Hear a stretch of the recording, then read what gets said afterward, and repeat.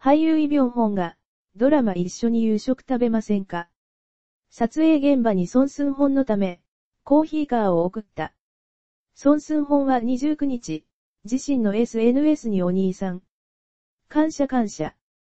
毎日お願いします。と綴り、認証ショットを投稿した。写真の中のソンスンホンはノースリーブの T シャツと半ズボンを履いて楽な服装をしている。ソンスンホンはそう変わらずのハンサムな姿で見る人を喜ばせた。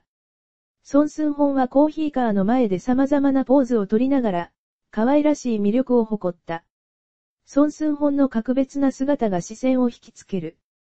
一方、ソンスンホンは毎週月火曜日午後9時30分に放映される MBC ドラマ一緒に夕食食べませんか？でソジヘと息を合わせている。